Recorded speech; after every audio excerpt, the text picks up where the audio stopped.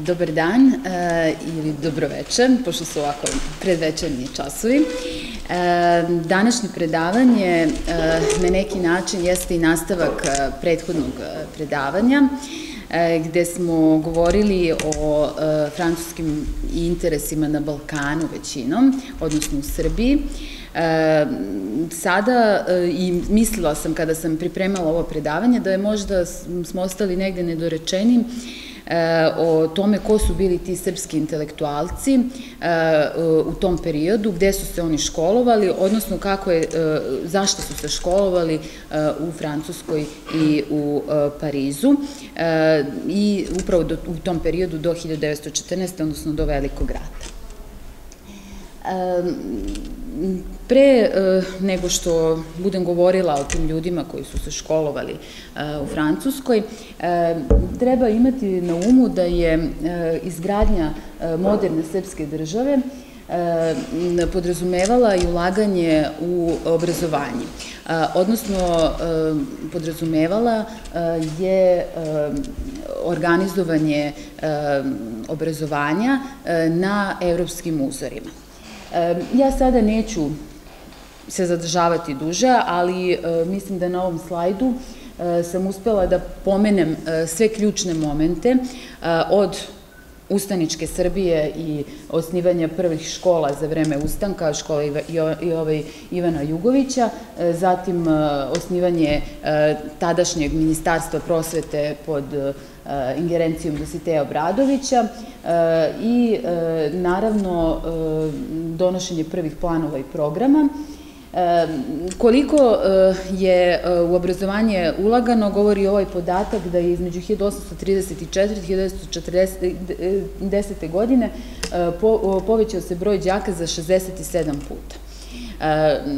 To je bilo izuzetno značajno u jednoj zemlji koja nije imala inteligenciju prilikom od 1904. godine, i e, naravno da su značajni svi ovi momenti osnivanja liceja kao prve visoke škole e, i e, njegovo prerastanje 1905. godine u Beogradski univerzitet. Iako se ulagalo u organizovanje školstva u samoj Srbiji, to nije bilo dovoljno, molim naredni slajd, pojavila se potreba i za školovanjem u inostranstvu. Prvo plansko e, slanje srpskih studenta u inostranstvo, e, inače e, onih koji su se nazivali blagodejanci, započelo je 1839. godine. Naravno da su ustavobranitelji imali posebnu ulogu u otvaranju škola, u usvajanju zakona i sprovođenju svih reformi po tada važećim i značajnim evropskim uzorima i e, tada imamo i prvog obrazovanog vladara na čelu Srbije, kneza Mihajla Obrenovića, i e, upravo sve te promene koje su se unosile u školstvo jesu bile promene koje su uticale e, na približavanje Srbije modernim evropskim državama. Treba da imamo na umu da u to vreme slika Srbije u evropskim zemljama, recimo u Francuskoj, e, jeste bila takva da su ju doživljavali e, ovaj, kao jednu poluistočnjačku zemlju. I ta percepcija e, je se zadržala dosta dugo, a opet sa druge strane srpski vladari su trudili da to promene, zašto su bili potrebni novi školovani ljudi. Molim dalje slajd. Naravno, i osnivanje Društva srpske slovesnosti i, i e, njegovo prerastanje u Srpsku kraljevsku akademiju e, 1886. godine e, jesu išli u tom e, duhu. Molim naredni slajd. E, dakle, e, Ovde vidite da su prvi blagodejanci, prvi stipendisti e, otišli e, na školovanje u Rudarsku akademiju u Beč, e, a upravo njihov cilj odlaska u Beč i Peštu te prve grupe jeste bilo da se pripreme za dalje finalizovanje njihovog obrazovanja koje je bilo u Parizu. Treba imati na umu da su se srpski intelektualci tog doba, o čemu inače pisala i istraživala profesorka Ljubinka Trgovčević dosta, i ona je u stvari došla do tih zaključaka, da su se ovaj, oni školovali u tri kulturna kruga, srednjoevropskom, francuskom i ruskom. Molim, dalje. Naravno e, da takvo plansko školovanje je podrazumevalo e, da se unapred napravi plan zašto je potrebno da se oni školuju, e, za koja zanimanja, za koje uprave, koja ministarstva. Svako ministarstvo je slalo određeni broj svojih stipendista, takozvanih blagodejanaca, i oni su bili odgovorni e, ministru i naravno to ministarstvu koje ih je poslalo. Slali su izveštaje u arhivu e, Srbije, čuvaju se i danas ti izveštaji e, koji su nekad izuzetno obimni, gde oni izveštavaju šta su slušali, koje predavanja, kako napreduju učenje njihovih jezika, a ponekad oni predlažu šta bi naredno mogli da slušaju ili u koji naredni grad da idu, odnosno na koji naredni univerzitet. E, tačan broj e, školovanih Srba u inostranstvu u periodu do 1914. se ne zna. E, pretpostavka je da ih je bilo preko 1300. Postoje podaci da, koji ukazuju da je bilo 853 stipendista do Prvog svetskog rata. Ja sam i taj podatak da je bilo 46 žena posebno istakla. Zašto se govori o većem broju stipendista? Pa govori se s prostog razloga što je bilo Srba koji su se školovali o svom trošku, odnosno kako je došlo do razvoja ekonomije u Srbiji, trgovine, pojave prvog sloja zanatlije i trgovaca, oni su imali dovoljno sredstava da pošalju svoju decu na školovanje u evropske gradove, što su oni i činili, tako da ne postoji zvaničan podatak i tačan podatak koliko je bilo Srba koji su školovani. Ovde vidite jedan mali prikaz koji govori o tome koliki je procenat đaka, odnosno stipendista školovan u kojoj zemlji. Primećujete da je najveći deo njih školovan u Austro-Ugrskoj, naravno u Nemačkoj, u Rusiji i da Francuska dolazi negde na četvrto mesto sa 15,2% školovanih.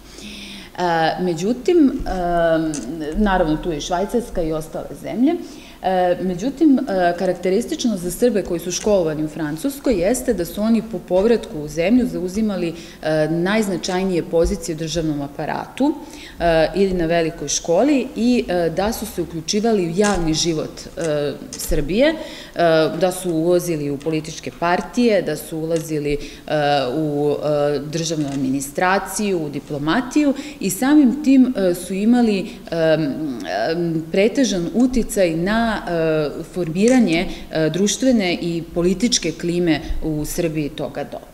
E, naravno da dolazak školovanih i obrazovanih ljudi je unosio promene u sredinu i zbog toga sam istakla ove podatke prema popisu iz 1890. godine koji ukazuje da je Srbija znači, imala 2 miliona i 161 hiljadu stanovnika, od čega je bilo samo 10,8% pismenih. Ali kada se kaže ovde pismenih, govori se o onima koji su imali znanje čitanja i pisanja i da je u gradovima bilo 37,7% mm, pismenog stanovništva, a u selima 6,7%. I u takvoj situaciji dolazak ljudi koji su bili vođe u smislu novih projekata, novih ideja, novih stremljenja i strujenja, dovodilo je do prihvatanja i neprihvatanja pojedinih tekovina, ideja i ideologija koje su oni stekli na svom školovanju u srpskoj sredini. Molim dalje.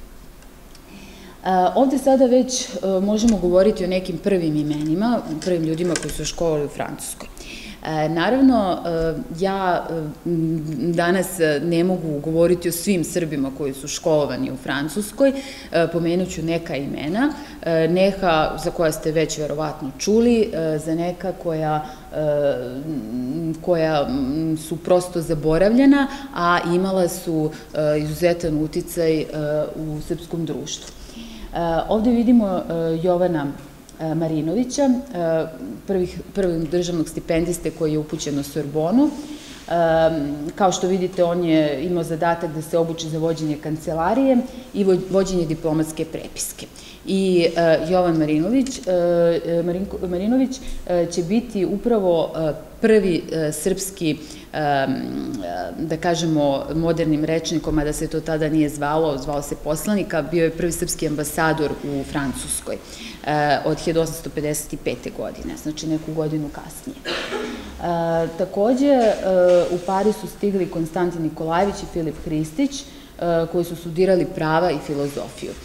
Interesantno je da put većine srpskih intelektualaca toga doba nije bio da direktno idu u Pariz, već su jedan deo svog obrazovanja finalizovali u Francuskoj. Molim sledeći slajd. Sledeći slajd. Da, izvinite.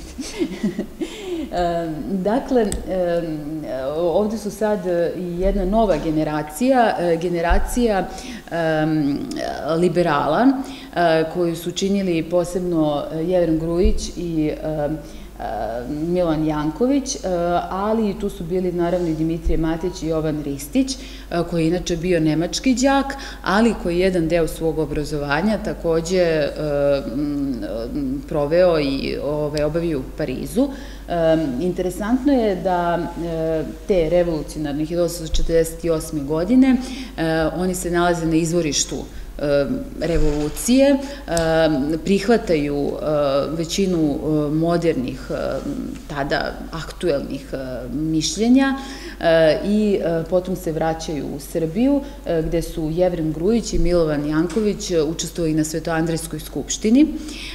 I takođe treba istaći da je Dimitrije Matić, kada je pisao svoje obrazloženje zašto treba da ode u Pariz i nastojao da ubedi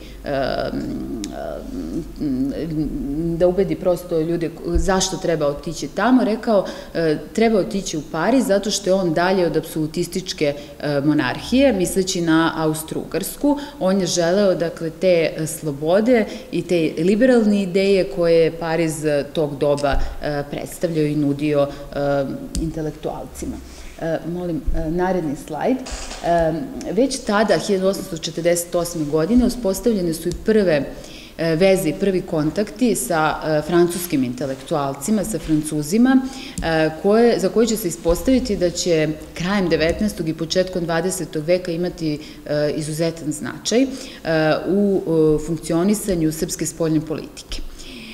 Milovan Janković i Jevan Grujić su tada upoznali Ogista Dozona. Auguste Dozon je bio francuski i intelektualac, predavao u školi za istočne jezike, kasnije je on naučio i srpski, inače bio karijerni diplomata i upravo tu u Parizu on je od Jevrema Grujića i Milana Jankovića učio srpski jezik, on je od njega francuski, a Dozon je neku godinu kasnije došao u Beograd, gde je upravo bio i u vreme Svetoandrijske skupštine, u vreme bombardovanja Beograda 1862. godine i interesantno da iako je bio diplomata nižeg ranga, u oba slučaja se sasvim sticajem okolnosti našao sam u ambasadi i sam je vodio i pisao izveštaje koje je slao u Pariz. Ja sam negde pronašla, ali nažalost nisam došla do tih dokumenta, gde on opisuje i događaje vezane za, da je detaljno opisao i događaje vezane za bombardovanje, ali i za Svetoandrijsku skupštinu. Postoje čak podaci da su Jevrem Gujić i Milan Janković pre samog odlaska na zasedanje Svetoandrijske skupštine izašli iz francuskog poslanstva i da je jedan deo teksta koji su oni pisali upravo napisao Ogis Dozon ili uticao na njegovo, na njegovo pisanje. Inače, Dozon je postao kasnije dopisni član Društva srpske slovesnosti i upravo tada je započela saradnja između francuskih i srpskih intelektualaca, što je upravo školovanje u Parizu i omogućilo. Molim sledeći slajd. Sada već dolazimo do prvog Srbina koji je stekao titul doktora nauka u Francuskoj, u Parizu, to je istoričar Mihajlo Gavrilović. Mihajlo Gavrilović je, kao što vidite, 1899. godine objavio tezu koja se ticala u 1259. dakle srednjovekovne istorije i Luja IX i francuskog kralja i Henrija III, engleskog kralja. Teza je nastala na osnovu istraživanja u francuskim i britanskim arhivima i Milovan Janko, pardon, Mihajlo Gavrilović je napisao tezu koristeći dakle, izvore upoređujući više vrsta izvora, što je za to vreme bilo veoma napredan metod istraživanja i to je inače teza koja je i dan danas u upotrebi i dan danas se koriste kolege medijevisti.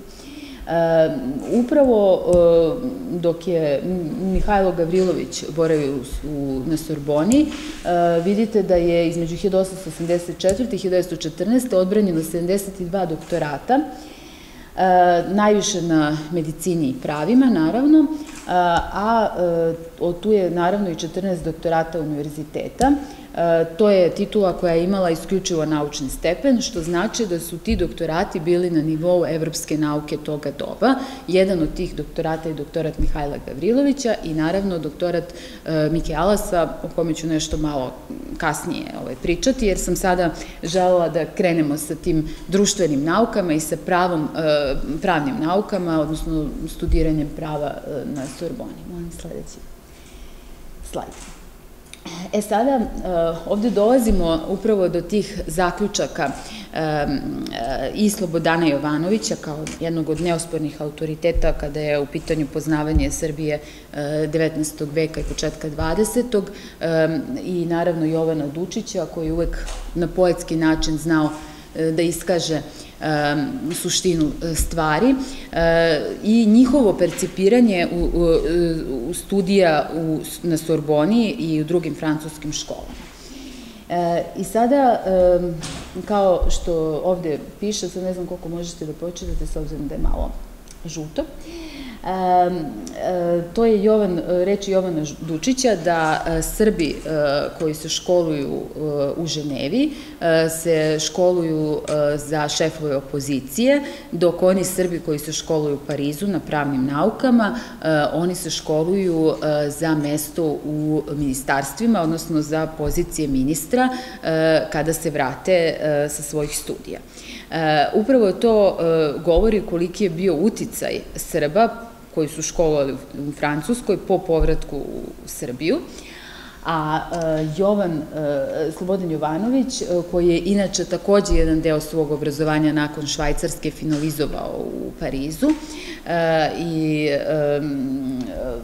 a inače je bio frankofil i frankofon, je upravo smatrao da su se srpski intelektualci toga doba napojili zapadnjačkim duhom tokom boravka u Parizu. I upravo, mola bih naredni slajd, još jedan slajd pa ćemo se vratiti na, na ovaj, e, jeste e, možda to najbolje i e, opisao Jovana Vakumović, koji je doktorirao na pravnim naukama u Parizu, kasnije je zauzimao visoke pozicije u liberalnoj stranci, koji je upravo rekao da, evo citiraću ceo citat, pored sve skromnosti i blagodenja, opet sam imao prilike u Parizu vizeti mnogo lepih i dobrih stvari i poznati život te svetske varoši u njenoj spoljašnjoj veličini. Već i sam izlazak na Elisijska polja u Bujonsku šumu i razna druga mesta za šetnje u Parizu bili su hrana moje mladoj duši, zabava i pouka vrlo korisna, pored ovoga u svakom pogledu bilo je u Parizu dovoljno duševnih primama za svakoga, a prijatno utiče i samo gledanje onog ogromnog broja ljudi ukusno odevenih. I upravo je on možda u ovim rečima sažeo sve ono što su srpski intelektualci toga doba doživali u Parizu. Pored školovanja, pored na najprestižnijim školama, slušanja najpoznatijih i najumnijih ljudi toga doba na fakultetu, oni su uživali u razgovorima sa svojim kolegama i sa drugim intelektualcima koje su sretali umetnicima toga doba u latinskom kvartu. Oni su takođe i gledali kako taj parijski svet živi i upravo su po povratku nastojali da sve to što su videli od znanja koje su stekli do načina odevanja prenesu u srpsku sredinu.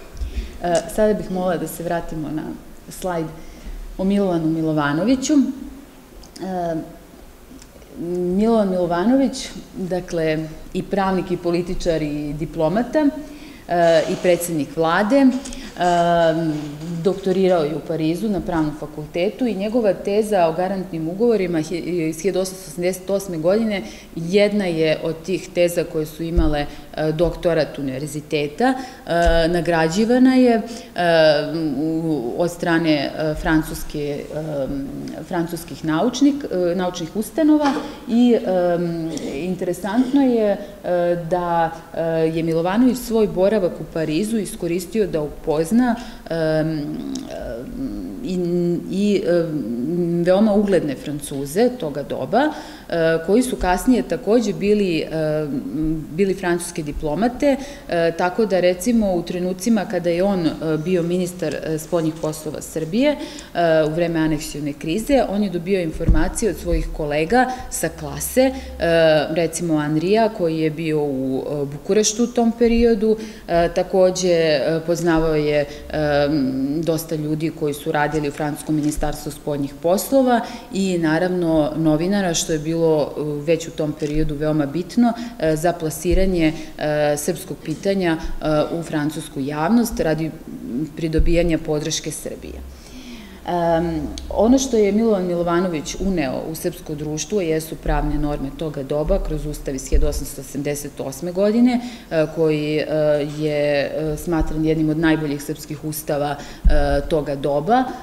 Zatim, on je istovremeni ideolog i član radikalne stranke. On je uneo ideologiju francuskih radikala u radikalnu stranku toga doba i naravno idejni tvorac Balkanskog saveza.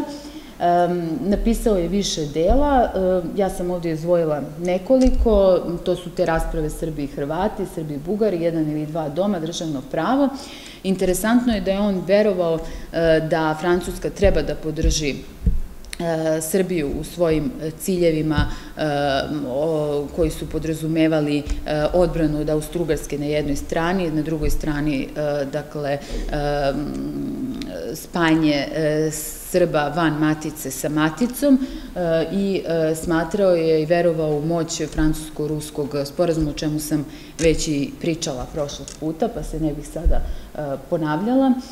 Takođe, Milovanović je, kao što ste videli ovde što piše, bio i diplomata, predstavnik Srbije u Bukureštu i Rimu. Interesantno je da je bio izuzetno dobar prijatelj sa Kamijom Berarom, to je bio francuski ambasador u Rimu. Inače, jedan od četiri najznačajnije ličnosti u Francuskom ministarstvu spoljnih poslova, predstavnika nove te generacije francuskih ambasadora i francuskih diplomata e, sa kraja 19. i početka 20. veka. E, molim dalje. E, da. Naravno, u, na pravnom fakultetu u Parizu, pored već pomenutih Milova Milovanovića i Jovana Vakumovića, školovano je još desetine srpskih intelektualaca. Ja ću sada izdvojiti samo nekoliko njih, o kojima mislim da je bitno da, da, da se pomenu njihova imena. To su Pavle Marinković um, i uh, recimo Jovan. Jovanović, Pavle Marinković koji um, je bio i narodni poslanik uključen u politički život, ali je postao poznat po povratku iz Pariza kao osnivač Videla i lista Red i naravno on je i započeo i političku karijeru i bio je ministar prosvete. U Parizu je boravio njegov brat Vojislav i školovao se, a Jovan Mijovanović je završio pravni fakultet u Parizu i ušao u okvire srpske diplomatije. Ono što je veoma bitno jeste da Jovan Jovanović imao izuzetnu ulogu u propagandi e, Srbije u vreme Prvog e, svetskog rata i e, da je te kontakte i veze koje je on izgradio tokom svog školovanja u Parizu kao i način rada i znanje preneo i uneo kroz svoj rad u Srpskom ministarstvu spoljnih poslova toga doba. Ja bih molila još sledeći slajd, gde su tu već i Vojislav Marinković, i Kosta Kumanudi, i Miloslav Spalajković, i Momčilo Ninčić, kao i Vojislav Veljković, za koga možemo reći da je jedan od zaboravljenih umova Srbije, jer upravo se takođe bavio temom trgovinskih ugovora u svom doktoratu i čuveni francuski profesor Renaud je istakao da za punih 100 godina u budućnosti neće se imati ništa novo reći o toj temi o kojoj je garantnih ugovora, takođe, ono što je veoma bitno jeste da je i Vojislav Veljković u ovoj sintagmi da ulazak u politički život znači za njega da politika odvojena od morala i stručnosti ga ne interesuje. Upravo je sažeo i duh cele te generacije koja po povratku ulazi u politički život, politički izuzetno heterogena, dakle Srba koji su školovani u Francuskoj ima i u radikalnoj stranci, kasnije kada su se pocepali radikali i samostalci, ima i liberalima i među naprednjacima. Dakle, politički izuzetno heterogena generacija, ali je imala princip ulaska u politički javni život koji je podrazumevao stručnost i moral zajedno.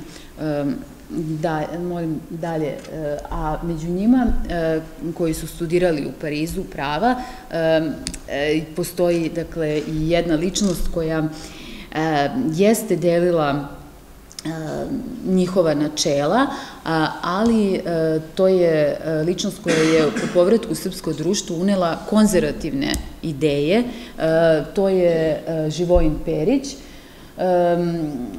On je bio član napredne stranke, može se reći umereni konzervativac, mada pred sam kraj pred sam početak pardon, Prvog svetskog rata, jedan od onih koji su zagovarali da, da Srbija treba da postane deo Austro-Ugarske monarhije, što je potpuna različiti stav od stava srpskih intelektualca, posebno od ove grupe koja je školovana u Francuskoj, koja se već 1914. potpuno politički vezala za e, Francusku. E, molim, naravno tu su i neka njegova dela o kojima bi sad zaista bilo previše govoriti, e, a koja su čisto pravnog karaktera. Molim, sledeći slajd. naravno, školovanje Srba u Francuskoj podrazumevalo je ne samo školovanje pravnim naukama, već i e, školovanju prirodnim naukama. I sada tu kao značajan primer možemo uzeti e, Jovana Žujovića, e, osnivača dakle srpske geologije, prvog srpskog školovanog geologa. Ovde već vidimo neka od njegovih dela. Veoma je bitno da je on po povratku u Srbiju osnovao katedru za geologiju, i postavio dakle, temelje toj naučnoj disciplini u Srbiji. E, međutim, e, Jovan Žujović od ovog svog, da kažemo, naučnog rada nije odvajao i svoje interesovanje za javnu sferu delovanja, jer to je prosto bilo vreme kada su intelektualci uzimali učešće, aktivnog učešća u javnom i političkom životu i Jovan Žujović jeste neko ko će 1915. biti na član Srpske akademije nauka, neko ko će biti zadužen za srpske đake upravo u Francuskoj, koji su prešli, koji, koji, koji su ovaj, poslati tamo na školovanje nakon egzodusa i prelaska preko Albanije. Molim dalje. Jedan od intelektualaca koji su takođe zaboravljeni jeste i Milan Nedeljković. Um, on je studirao, kao, kao što možemo vidjeti po dolazku iz Srbije iz Pariza, doneo je više diploma, to su iz matematike, iz fizike, meteorologije, astronomije, precizne mehanike, seizmologije, i naravno osnovo je katedru za astronomiju i e, meteorologiju i e, naravno pokrenuo ideju i osnovo meteorološku observatoriju u Beogradu. E, pokrenuo je jedan časopis 1893. godine koji dan danas postoji, koji izdaje meteorološka ovaj, observatorija u Beogradu i njegov, njegovo angažovanje, recimo po povratku, je bilo uglavnom isključivo u oblasti nauke. On se nije značajnije uključivao u politički e, život Srbije. Dakle, imamo i takvih e, primera. Molim dalje. Jedan od takvih primera je i Mika Alas, koji jeste bio blizak e, Karadžorđevićima, odnosno Đorđu Karadžorđeviću, ali nije značajnije istupao u svom političkom životu, osim što je naravno u duhu epohe bio učesnik e, ratova, ali e, ono što je značajno jeste da je on bio prvi stranac i prvi srbin e, koji se školovao na prestižnoj francuskoj ustanovi Ecole Normale Supérieure, koji, i da je on položio dakle, lisans iz matematike, iz fizike i postao doktor matematičkih nauka 1894. godine.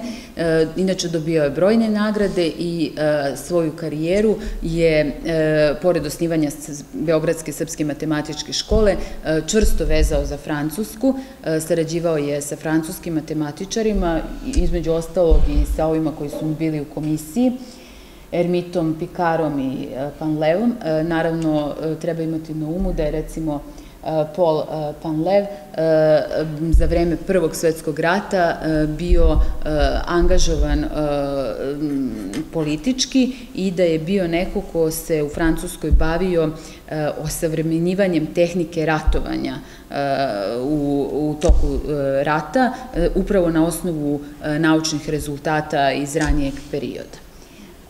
Molim dalje. Sve ovo što sam do sada pričala je i Sidora Sekulić sažela u ovih nekoliko rečenica koje sam izdvojila i koji u stvari govore o tome kako su srpski intelektualci tog doba videli Pariz, videli Francusku i šta su u stvari tamo dobili, gde ona kaže da Pariz svakome bez razlike daje, slobodu svojom krilatom inteligencijom, svojom arhitekturom i rasporedom, svojim jezikom i knjigama, svojim e, kritikom, svojim običajima na ulici po zatvorenim mestima rada i života. E, srpski intelektualac, dakle, u Parizu nastoji da tu ili nigde nađe svog boga ili ideal, tu ili nigde nađe svoju čvrstu plastiku ili izgubi oblik.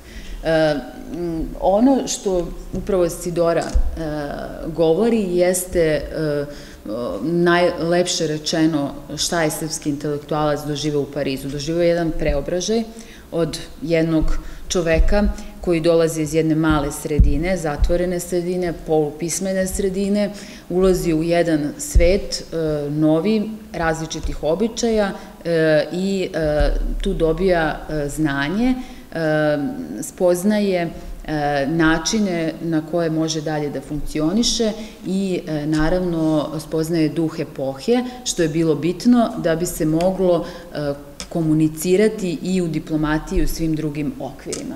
Mola bih sledeći slajd.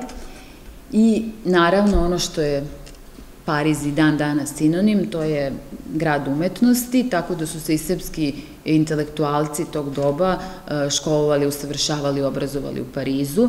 Jedan od njih je naravno vajer Đorđe Đoka Jovanović, e, koji se školovao na prestižnoj Žilijen akademiji, i on, na primer, kaže da mu je Pariz otvorio oči, da je on tek tada spoznao umetnost, u pravom smislu te reči i 1889. godine skulptura koju možete videti Guslar je nagrađena na svetskoj izložbi u Parizu. Dalje, naravno, Ja sam ovde izdvojila još nekoliko srpskih slikara i profesora arhitekture, naravno Milovan Milovanović, Milan pardon, Milovanović i Branko Popović, prvi koji 1902. godine dolazi u Pariz i tu se usavršava i Branko Popović koji je upravo izlagao radove na jesenjom salonu u Parizu 1911. godine. Inače, to je salon na kome je izlagala i Nadežda Petrović, koju ćemo vidjeti na narednom slajdu. Ona je upravo inspiraciju za neka od svojih poznatih dela pronašla u Parizu. Ona se tamo usavršavala i nastojala je da napravi jednu veliku izložbu. Malo je poznato da pred prvi svetski rat, odnosno pred Balkanske ratove, ona nastoji da organizuje jednu veliku svoju izložbu u Parizu, šalje svoja dela tamo. E, dolazi do izbijanja Balkanskih ratova, odlaže se izložba i e, e, Nadežda Petrović planira izložbu za period 1914. Međutim, dolazi do izbijanja Prvog svetskog rata i njena dela su u stvari provela taj ratni period u Francuskoj sasvim slučajno. Kasnije su, naravno, vraćena a recimo tako da je tako da su iz, možda zahvaljujući tome e, njena dela e, i je neka od njenih dela i sačuvana. Pitanje je šta bi bilo da su ostala u Srbiji. Možemo dalje. E, naravno, e, kada govorimo o, Fran o ljudima koji su školovani u Francuskoj i koji su uneli promenu u srpsku sredinu, ne možemo da ne pomenemo e, Bogdana Popovića i naravno njegovog brata Pavla, oni su se školovali u Francuskoj, oni su po povratku, odnosno Bogdan Popović po povratku osniva katedru za francuski jezik, ali ono što je najbitnije jeste da je e, upravo književni srpski jezik doživeo svoje konstituisanje na osnovama francuske fraze, takozvani beogradski stil, koji je postojao u srpskoj literaturi e, sve e, i, i u srpskoj literaturi sve do drugog svetskog rata, kasnije se naravno izgubio, a danas mnogi pisci, umetnici smatraju najvećom pohvalom kada im se kaže da podsjećaju svojim stilom na taj beogradski stil toga doba. Molim dalje.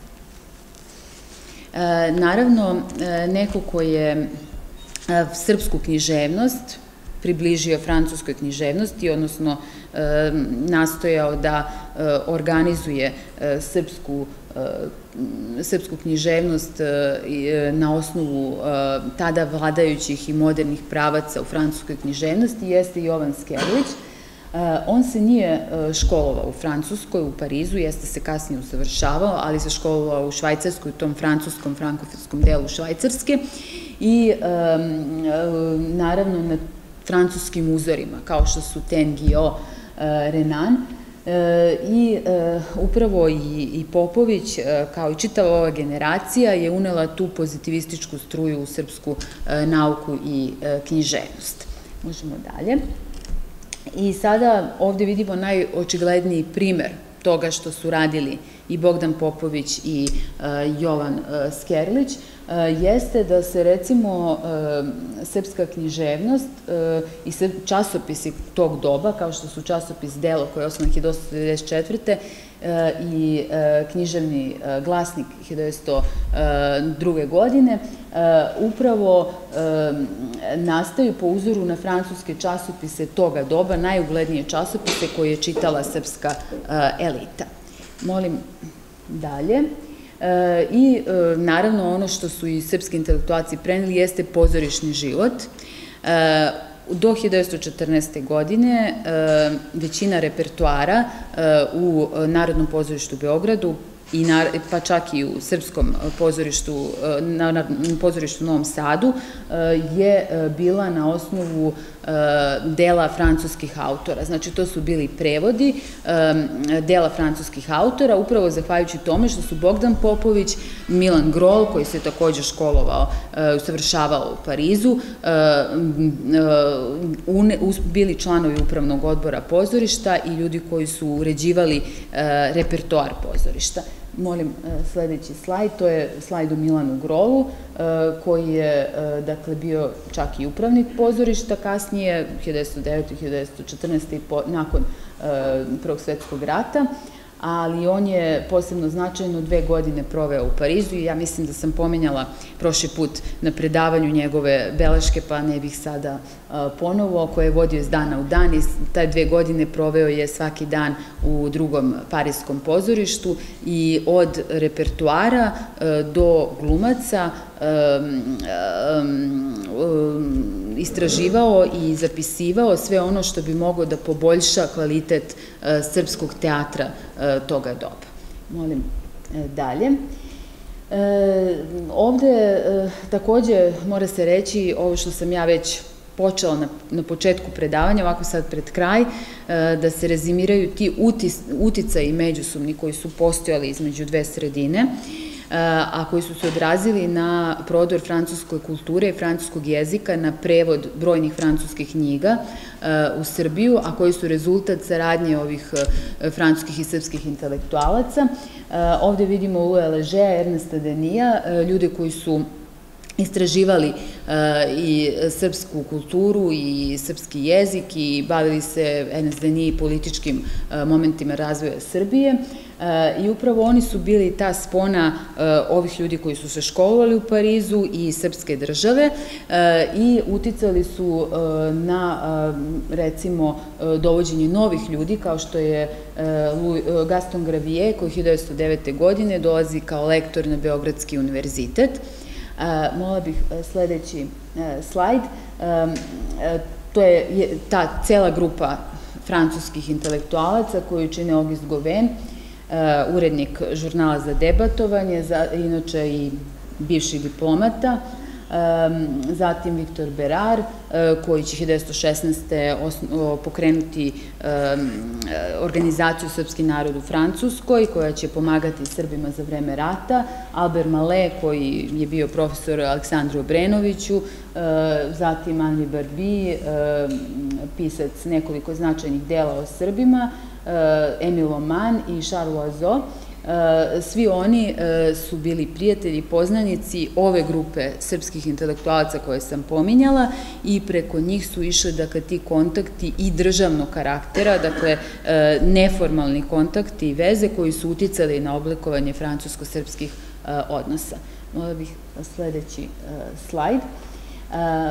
Posebno značajno jeste i boravak Mihajl, Milenka Vesnića i naravno Grgura Jakšića u Parizu. Oni su takođe bili francuski đaci. Milenko Vesnić je bio samo jedan deo Francuskoj, ali je značajniji po tome što je dugi niz godina bio srpski poslanik u Parizu, dok je Grgur Jakšić završio doktorat u Parizu na Sorboni i imao je značajne veze u francuskim novinarskim krugovima, francuskoj žurnalistici, zahvaljujući čemu je postao neformalni ataše za propagandu Srbije u vreme Balkanskih ratova, zadržao je tu poziciju i za vreme Prvog svetskog rata i on je direktno svoj izveštaje slao Nikoli Pašiću. Interesantno je da je na početku Prvog svetskog rata postojalo izuzetno rivalstvo između Vesnića i Grgura Jakšića oko pravca srpske propagande u Francuskoj, da se nisu uvek slagali, pa čak su i pisali žalbe Pašiću na drugoga, jednog žalbe, ali međutim ipak su u interesu Srbije uspeli da pronađu saglasnost i da deluju onako u francuskoj sredini, a to su im opet omogućile i čitave ove generacije francuskih đaka. Molim dalje ova priča o školovanju francuskih, srpskih intelektualaca u Francuskoj ne bi bila potpuna ukoliko se ne bi e, pomenuli i oni koji su se školovali u francuskim vojnim školama. E, školovanje u francuskim vojnim školama je započelo u vreme e, kralja Milana i tada već se pojavljuje prva generacija Srba koji su školovani u francuskim vojnim školama, a nezavisno od toga treba pomenuti imena Milutina Garašanina koji se školovao u vojnoj školi u Mecu i e, naravno e, Petra Karadžorđevića koji se školovao u koležu San Berb, e, potom u San Siru, a i jedan i drugi su bili učesnici Francusko-Pruskog rata 1871. godine i time je u stvari samo započeo to školovanje školovanje Srba na osnovu francuskih vojnih uzora što će se ispostaviti veoma značajno u kasnijem periodu savezništva. Molim dalje. I sada na kraju, naravno, možda u nekoliko rečenica sažeti kroz ovaj grafikon, šta su u stvari bile posledice školovanja Srba u Francuskoj, krajem 19. i početku 20. veka. Možda reč koja to najbolje oslikava jeste ova reč evropeizacija. E, dakle, konstituisanje države i društva na francuskom uzoru. E, to je podrazumevalo i donošenje zakona, preuzimanje modela državnog aparata, uprave, e, ono što je posebno značajno jeste ovo isticanje slobode i prava, donošenje zakona, reforme školstva, e, zatim uzajemna saradnja intelektualaca o kojoj sam pričala i prošlog puta i sada delom, e, i naravno prihvatanje tih francuskih kulturnih modela, kada kažem kulturnih modela mislim na uticaju na teatar srpski, zatim uticaju na srpsku književnost i naravno na slikarstvo umetnost i tako da je, se može reći da je pred prvi svetski rat srpska kultura, ali i država, e, pre svega kultura, bila e, dakle vezana za taj francuski kulturni model, a preko njega i preko naravno ekonomskog i političkog prodora i utica i zainteresovanosti same Francuske, e, bila i politički i ekonomski vezana za Francusku, što je bila neka osnova savezništva i tog opredeljenja u tom blokovskom smislu pred e, Prvi svetski rat. E, naravno, iz svega ovoga izašla je u toku Prvog svetskog rata i ta ideja o večitom prijateljstvu dva naroda, E, koja je naravno 90. E, godina 20. veka e, dovedena u pitanje, ali treba imati na umu da je ona preživela gotovo 100 godina ovaj, od svojih začetaka, što je jedna ovako specifična pojava i obeležije francusko-srpskih odnosa, u čemu su upravo značajan utice imali i životi, stvaralaštvo, Eh, intelektualaca srpskih koji su se školovali u francuskom periodu. Ja bi ovde završila. Ukoliko ima nekih pitanja, izvolite.